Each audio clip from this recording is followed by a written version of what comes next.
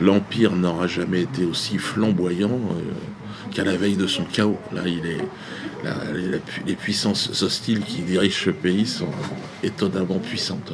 Éric Zemmour, en fait, euh, m'a m'a, comment dire, euh, consacré un chapitre dans son dernier ouvrage. Et pourtant, je ne l'avais pas rencontré, je n'avais pas discuté avec lui. Donc j'ai cherché à le faire et il a refusé. Donc je me suis dit que la meilleure réponse, bah, ce, serait, ce serait de faire exactement la même chose. Quoi. Moi, c'est un chapitre sur Zemmour, voilà, en réponse à ce qu'il m'a, ce qu'il a écrit sur moi. Euh, il y a beaucoup de choses à faire. La France-Afrique, elle, existe, elle est vivante. Moi, j'en suis l'incarnation. Donc, euh, il faut simplement euh, cette nouvelle France-Afrique, elle se, qu'elle s'assume et qu'elle, puis qu'on avance ensemble.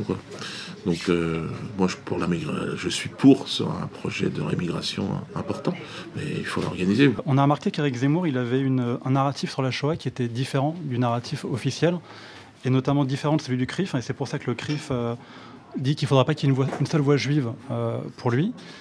On a vu également que le grand rabbin de France euh, a dit qu'il était antisémite. Il y a l'Obs qui a publié il y a peu un article en, disant que c'était le nouveau visage de l'antisémitisme.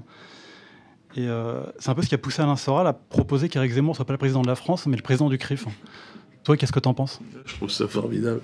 Moi, ce que je trouve extraordinaire, c'est que là, on, a, on est on est face à un, cinéma qui est extraordinaire où euh, Zemmour propose des solutions et que le, contre-pouvoir à Zemmour, c'est aussi des gens de la communauté juive. C'est extraordinaire. C'est-à-dire, c'est à la fois le pouvoir et le contre-pouvoir. Bon, bah écoutez, partie de ce moment, on est là pour rire. Donc maintenant, ils, sont, ils étaient déjà euh, tout seuls à la télévision. maintenant, bah au moins, voilà, on voit, où est l'opposition. Moi, je pense qu'il nous parle de, de ce temple qui est derrière lui et qui le soutient.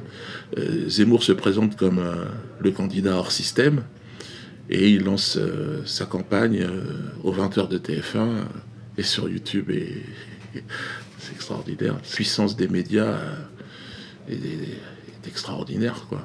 C'est un homme de médias qui qui refuse évidemment le débat avec la véritable dissidence, ça c'est une évidence il ne nous parlera pas, ni à moi, ni à Soral, sans jamais aborder ce, qu'il connaît le mieux, c'est le judaïsme. Et Israël devrait nous parler de ce qu'il connaît le mieux, de son véritable projet.